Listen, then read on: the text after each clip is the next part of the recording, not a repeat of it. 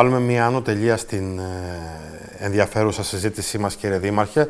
Θα σας πάω με τη δύναμη της τεχνολογίας στην περιφερειακή ενότητα του Ρεθύμνου. Θα σας ανηφορήσω πολύ στον Ψιλορίτη. Θα σας πάω στο Δήμο των Ανογείων. Εκεί βρίσκεται η Εύη Χαρακιανάκη και έχει μαζί της τον συνάδελφό σας, τον Δήμαρχο Ανογείων, τον κύριο Κεφαλογιάννη. Εκεί βρίσκονται σε επιφυλακή, ε, κύριε Δήμαρχε, γιατί από το βράδυ ξεκινάει η χιονόπτωση.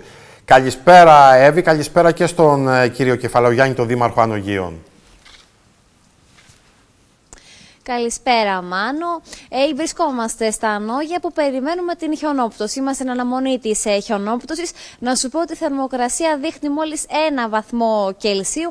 Είμαστε στα 730 ε, μέτρα υψόμετρο. Το κλίμα εδώ πέρα είναι χειμωνιάτικο και περιμένουμε σε λίγη ώρα ε, την χιονόπτωση εδώ στο Ανόγια. Θα πρέπει να σου πω ότι ο κρατικός ε, μηχανισμός ε, είναι επιποδό. Στο Ανόγια, ο Δήμος ε, του Δήμου Ανογίων είναι προετοιμασμένος εν ώψη αυτής ε, της ε, κακοκαιρίας. Μαζί μου, προκειμένου να μας τα εξηγήσει όλα αυτά καλύτερα, είναι ο Δήμαρχος Ανογιών. Καλησπέρα. Να μας βάλετε λίγο στο κλίμα όσον αφορά ε, την προετοιμασία του Δήμου, προκειμένου να είναι έτοιμος σε αυτήν την νέα κακοκαιρία το, η οποία ήρθε. Καλησπέρα και από μένα, καλησπέρα στην παρέαση Σκαλάκη, στο Δήμαρχο Αγίου Νικολάου. Καλησπέρα, Δήμαρχο. Εδώ έχουμε κάνει τις προηγούμενες μέρες... Καλησπέρα όλες τις προηγούμενες ε, προετοιμασίες, ε, προμήθεια αλατιού με την Περιφερειακή Ενότητα Ρεθύμνου, συντονισμό με την Περιφερειακή Ενότητα Ρεθύμνου την πολιτική προστασία, με τους χειριστές τους δικούς μας και τα μηχανήματα, ώστε να είναι όλα έτοιμα ε, για να μπορέσουμε καταρχήν και κατά κύριο λόγο να διατηρήσουμε το δικό δίκτυο ανοιχτό, προσπελάσιμο για οποιοδήποτε έχει ανάγκη, για τους κατοίκους και για τους ε, επισκέπτες που ενδεχομένως θα χρειαστεί να ανέβουν ε, στα νόγια ε, αυτές τις ημέρες. Άρα λοιπόν εν αναμονή της χιονόπτωσης, η οποία ακόμα δεν έχει έρθει μέσα στο χωριό, περιμένουμε να δούμε πώς θα εξελιχθεί κατά τις βραδινές ώρες της νύχτας και το προσωπικό να ανταπεξέλθει σε αυτή την ανάγκη. Κύριε Δήμαρχε, πάντως με βάση τις προβλέψεις των μετεωρολόγων, ναι, μισό ναι. λεπτό, Εύη, θα σου δώσω το λόγο ευθύς αμέσως. Ε, με βάση τις προβλέψεις των μετεωρολόγων και η αυριανή ημέρα και η Τετάρτη, αλλά σχεδόν στο σύνολό της και η Πέμπτη, δίνει πυκνή χιονόπτωση στην, και χιονόστρωση στην περιοχή των Ανογείων. Άρα εσείς έχετε πάρει ήδη απόφαση για κλείσιμο των σχολείων αύριο. Ναι, πήραμε την απόφαση σήμερα ε, για το κλείσιμο αύριο. Θα επανεκτιμήσουμε αύριο. Από ότι όντως οι προβλέψεις δείχνουν συνέχιση των χιονοπτώσεων και αύριο και την Τετάρτη το πρωί. Οπότε ε, μέρα με την ημέρα θα δίνουμε και τις νέες οδηγίες.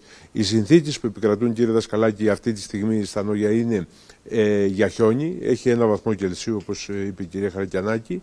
Ε, ωστόσο μόλις πυκνώσει η νέφωση πάνω από το χωριό θα αρχίσει η χιονόπτωση μέσα στο χωριό.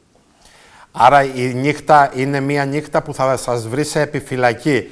Θα ήθελα, πρωτού δώσω ξανά το λόγο στον Δήμαρχο Ανογίων, Εύη, να δούμε με τη βοήθεια τη δική σου ε, κάποιες ανακοινώσεις από την Περιφέρεια Κρήτης και για την Γενική Αστυνομική Διεύθυνση της Κρήτης που αφορούν και τις τέσσερις περιφερειακές ενότητες του νησιού που χρειάζονται αντιολιστικές αλυσίδες αύριο, μάλλον από σήμερα στις 10 το βράδυ μέχρι και το τέλος της κακοκαιρίας. Μπορούμε να δούμε τις σχετικές κάρτες εφόσον τις έχουμε έτοιμες για να μπορούν να πληροφορηθούν και οι τηλεθεατές που χρειάζονται αντιολιστικές αλυσίδες γιατί σε έναν πιθανό αστυνομικό έλεγχο επιβάλλονται πρόστιμα. Ακριβώς, Μάνου. Εν ώψη λοιπόν αυτής ε, της κακοκαιρίας, η οποία έχει δείξει τα δόντια της όλη την Ελλάδα αλλά και στην Κρήτη, όχι ακόμα όμως στον Δήμο Ονογίων όπως τα περιμέναμε. Ε, είναι επιποδός και η Ελλάδα, η οποία ε, αναφέρει προς τους πολίτες σύσταση ε, να έχουν μαζί τους αντιολισθητικέ αλυσίδες, προκειμένου να τα τις τοποθετήσουν στο όχημά τους σε περίπτωση που χρειαστεί. Ε, μπορούμε να δούμε και τις σχετικές ε, κάρτες και στα σημεία ε, του οδικού δικτύου δικτύου των Χανίων, που είναι απαραίτητη η τοποθέτησή τους, όπως και στο Ρέθυμνο, και εκεί ε, είναι υποχρεωτική η τοποθέτησή τους, και στο Ηράκλειο, αλλά και στο Αλασίθι. Στο Ηράκλειο, μάλιστα, είναι υποχρεωτική σε όλη την ε, περιφερειακή ενότητα του Ηρακλείου. Να πούμε ότι είναι απαραίτητο αυτές τις ώρες όπου είναι σε ισχύ αυτή η κακοκαιρία, πρέπει οι πολίτες να ακούν ε, τις συστάσεις των ειδικών και φυσικά να αποφεύγουν τις μη απαραίτητες μετακινήσεις τους, ειδικά αυτό όσον αφορά τις ευπαθείς ομάδες, Μάνο. Και θα ήθελα να προσθέσω και να θέσω ένα ερώτημα στον Δήμαρχο, τον κύριο Κεφαλογιάννη.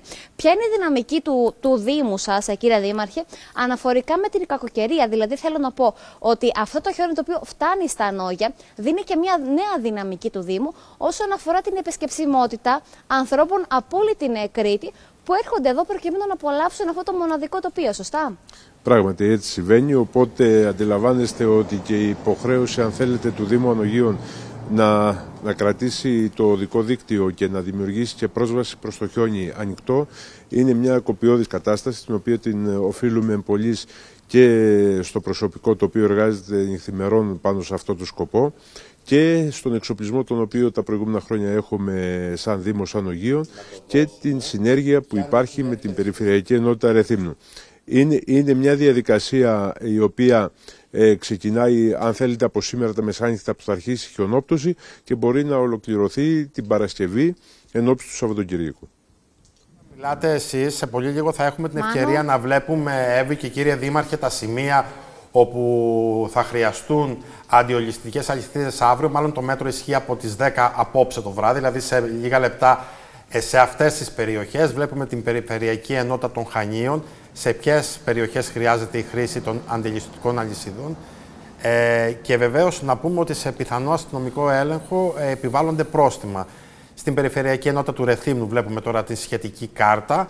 Όπως είπε και η Εύη Χαρακιανάκη στην Περιφερειακή Ενότητα του Ηρακλείου, χρειάζονται αντιολιστικέ αλυσίδες σε όλο το δικό δίκτυο, ακόμα και σε περιοχές που δεν βρίσκονται σε ημιορεινά σημεία της Περιφερειακής Ενότητας Ηρακλείου, ενώ στην Περιφερειακή Ενότητα του Λασιθίου χρειάζονται αλυσίδες στο ορεινό δίκτυο του οροπεδίου Λασιθίου.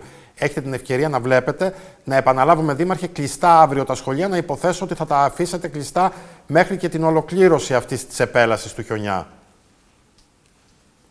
Ναι, αν εξελιχθεί ο χιονιάς όπως οι προβλέψεις λένε, ναι, θα μείνουν κλειστά μέχρι και την Τετάρτη, ενδεχομένως και την Πέμπτη. Αλλά θα το παρακολουθήσουμε μέρα με την ημέρα και θα ενημερώνουμε εκπαιδευτικούς, γονείς και μαθητές. Ε, θέλω να σας ρωτήσω το εξής. Αυτή τη στιγμή, σε τι υψόμετρο έξω από τα ανώγια έχει στρώσει το χιόνι, κύριε Δήμαρχε; Γιατί γνωρίζω ότι υπάρχουν και άνθρωποι που είναι χιόνι... κτηνοτρόφοι σε περιοχές εκτός ανωγείων. Έχετε επικοινωνία με αυτούς τους ανθρώπους, είναι σε επιφυλακή; Σωστά. Σωστά. Mm Από την προηγούμενη Παρασκευή έχουμε ενημερώσει τους κτηνοτρόφους για την επικείμενη κακοκαιρία, ώστε να λάβουν όλα τα μέτρα προμηθειών ε, τόσο για τους ίδιους αλλά και για το πίμνιό τους εκεί και πιστεύω ότι αυτό έχει γίνει, τουλάχιστον αυτό έχουμε από την ενημέρωση που υπάρχει μεταξύ εμάς και των κτηνοτρόφων. Μέχρι σήμερα ε, η πρόσβαση προς τα ποιμνιοστάσια τους ε, ε, εξελισσόταν ομαλά. Ε, με την ε, έναρξη του χιονιά, το χιόνι βέβαια είναι έξω, αμέσως έξω από το χωριό, αλλά είναι διαχειρίσιμο. Ε, όταν θα πυκνώσουν οι χιονοπτώσεις και το ύψος του χιονιού ανέβει, τότε είμαστε σε διαρκή επικοινωνία με τους κτηνοτρόφους. Ε, αυτοί μπορούν να ανταπεξέλθουν σε αυτές τις συνθήκες και με την πρώτη ευκαιρία έχουμε πρόσβαση προς τους ίδιους για να μπορέσουν να επιστρέψουν στο χωριό. Άρα καλό θα είναι και αν το κάνετε και εσείς έκκληση, Δήμαρχε, τις επόμενες ημέρες, δηλαδή κυρίως την Τρίτη και την Τετάρτη, δηλαδή αύριο και την Τετάρτη που θα είναι στο peak αυτή η κακοκαιρία, να αποφύγει ο κόσμος, οι επισκέπτες να ανηφορήσουν προς τα Ανώγεια, μιας και η ποσότητα του χιονιού μάλλον θα διατηρηθεί και το επόμενο Σαββατοκύριακο που οι καιρικές συνθήκες θα είναι καλύτερες. Το είδαμε και το Σαββατοκύριακο, κύριε Δασκαλάκη, όπου ο κόσμος είχε έρθει στ' Ανώγεια και ενώ ήταν ο κακο... ιδίως την Κυριακή κακός ο καιρός, ε, επιχειρούσε να πάει με το αυτοκίνητό του στα χιόνια. Μάλιστα είχαμε δύο εγκλωβισμούς που καταφέραμε με τα μηχανήματα του Δήμου να βοηθήσουμε ε, την προσπάθειά τους για να επιστρέψουν στο χωριό και μετά στον τόπο καταγωγής τους. Σε κάθε περίπτωση θέλει προσοχή, θέλει σεβασμό. Το χιόνι δεν είναι μια εύκολη διαδικασία, είναι μια δύσκολη διαδικασία.